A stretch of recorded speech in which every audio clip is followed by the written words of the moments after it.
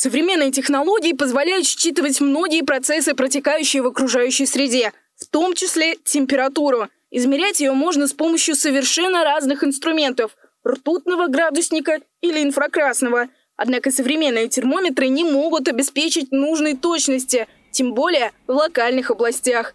Так зародился проект научно-исследовательской лаборатории «Гибридные оптические сенсоры». Разработка ученых Казанского федерального университета основана на таком явлении, как люминесценция. Грубо говоря, э, какой-то конкретный цвет э, соответствует какой конкретной температуре. Единственное, что на глаз нам очень сложно определять цвет, мы можем только оценить. Поэтому у нас есть приборная база, которая позволяет увидеть спектр люминесценции, а, измерить другие параметры люминесценции, так называемые кинетики затухания люминесценции, и уже анализировать их. В процессе работы ученые оценивают механизм работы вещества в основе наносенсоров под воздействием нагрева или охлаждения. Для этого они используют специальные лазерные установки.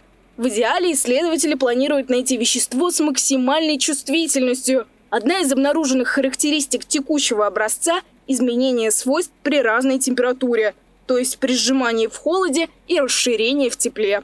Сжимается еще образец, то есть ионы становятся ближе друг к другу, и, следовательно, их вероятность взаимодействия увеличивается, и это тоже влияет на чувствительность. Использовать наносенсоры можно в совершенно разных областях. К примеру, контролировать температуру транзистора, благодаря чему можно вовремя узнать о его выходе из строя.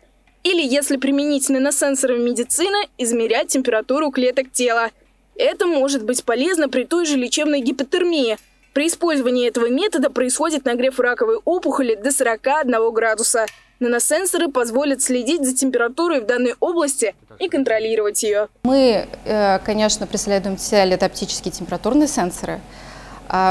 Но есть различные, допустим, применения. Что-то подходит больше для биологии, что-то подходит больше для там, космической промышленности, что-то подходит больше для ну, просто для, допустим, контроля температур э, на плате, например, mm-hmm. компьютерной, чтобы она там не перегревалась и так далее.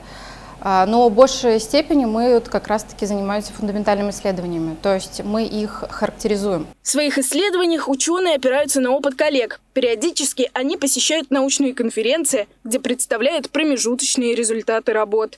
Маргарита Михайлова, Фарид Захитаглы, Univer News.